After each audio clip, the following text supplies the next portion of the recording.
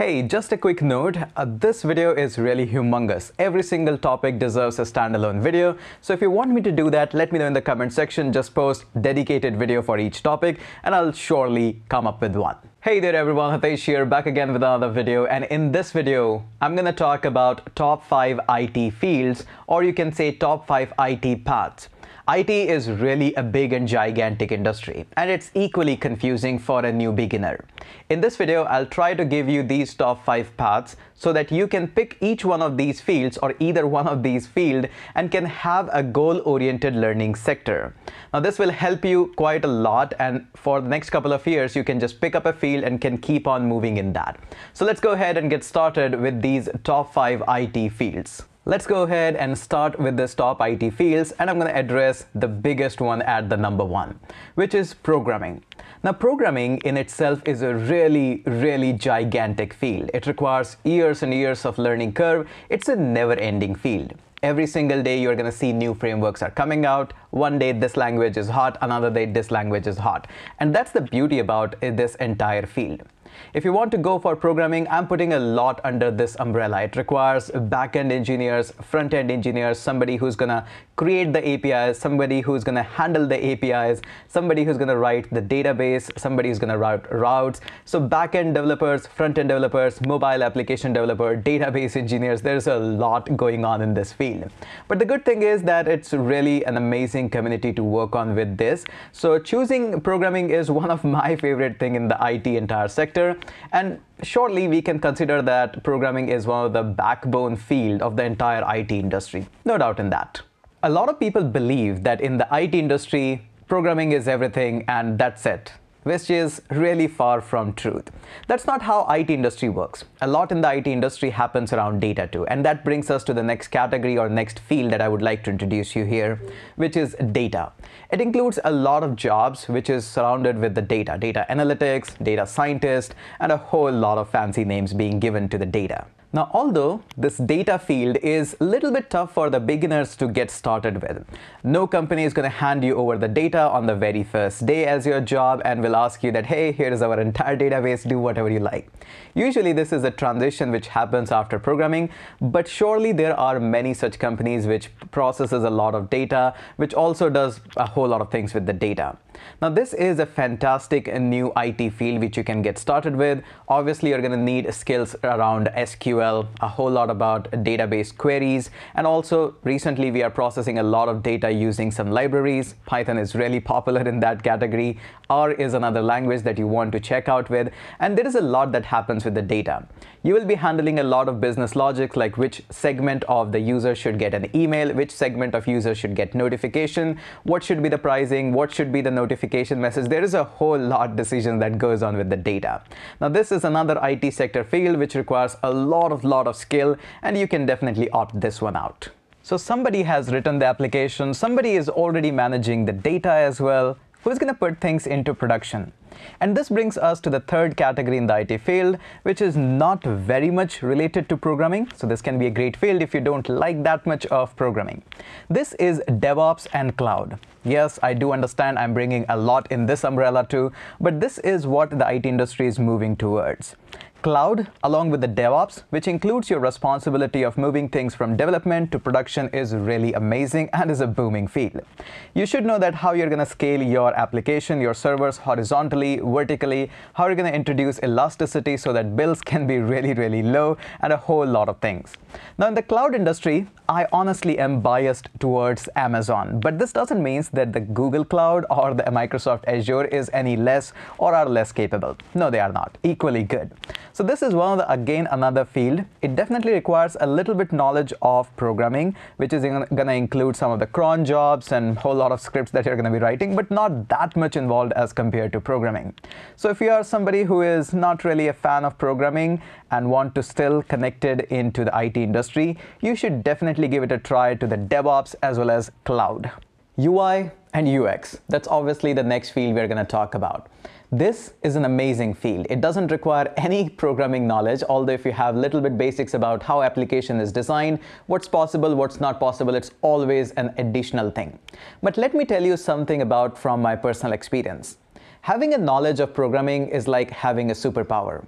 But on top of that, if you add UI UX skill, it's like having an additional superpower.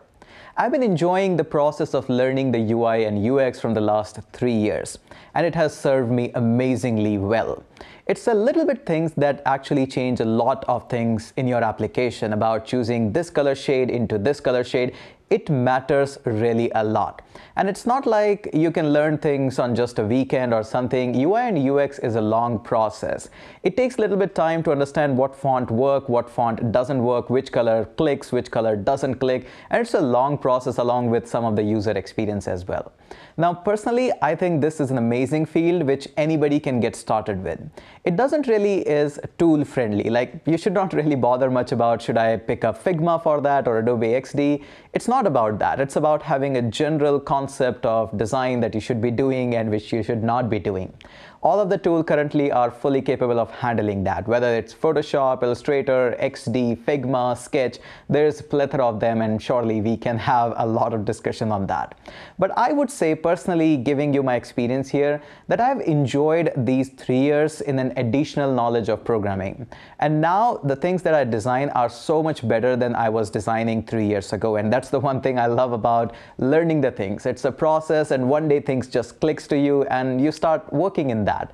And I would say this is a great and growing field with so many industries coming up with the SEO, your digital marketing agency. It's, it's really amazing. Everybody needs a designer. And on top of the designer, if you have UI, UX skills, you're to kill it. Okay, so yes, I'm gonna do it again. I'm gonna put a lot of things under this umbrella too, which I'm gonna call as testing.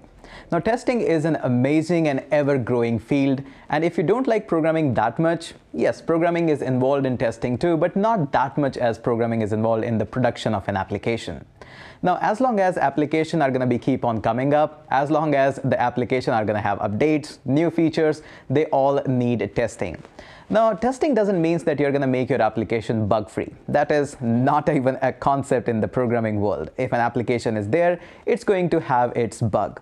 But if you're not doing testing, then it's going to be another nightmare when the application reaches in the public hand there's a lot of type of testing that goes on in. There is a unit testing, there's a production testing, there's a reliability testing, there's a performance testing, and of course there is penetration testing for security purposes. Now one of the things which I really like about the testing is there is no shortage about the frameworks. There's Selenium, Appium, some JavaScript based like Mocha, Chai, and there's plethora of uh, tools and frameworks that are available for testing. In addition, on top of that, there are some UI based testing too. And the good thing is that once you pick up the tech stack, just for an example, you pick up that Java and Selenium is going to be my friend, then it's not about you can only test the Java-based application. You can test all of the Node-based application, Python-based, Ruby on Rails, and any other applications as well. Testing is one such of the great and very in-depth field and when we move on to penetration testing and security testing that's a, another open world that we can talk about a lot here. Now these allows you to have more firm testing about the vulnerabilities that your application potentially may have or may get some of the data leaks and there's a whole lot to talk about penetration testing as well. But testing doesn't require that much of programming knowledge and it's an ever-growing field that is going to be quite up here as long as the applications are going to be up here. Okay, so these are my top five picks for the IT fields or the segments that you can pick up. Now, all of these segments are gigantic and are going to require at least two years or three years to have a friendlier nature in these fields.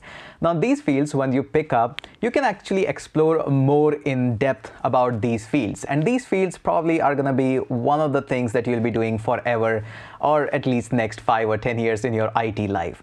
Now, all of the thing, these fields are having amazing potential, amazing salaries, amazing roles, but the most important thing is how good you are in that field. It's not about picking up just the one segment or one language in the programming. It's about whole in general that how good you are in programming. Similarly for testing, it's not about how good you are in Selenium. It's about how good you are in testing. So make sure you never pick up a tool that you love or a language that you love. You pick about what the segment is where I want to go further. Now, of course, after a couple of years, let's just say three, four, or five years, you're going to eventually automatically be master of many other fields as well. Most of the programmers who are having four, five, eight years of experience in programming eventually automatically become half of the DevOps because they have done so much of work in development. If you have your interest in UI and UX within like four or five or eight years, you will be expert in a little bit expert in UI, UX, writing amazing code and putting things into production automatically gets you familiar with the cloud. So again, these are very closely interrelated.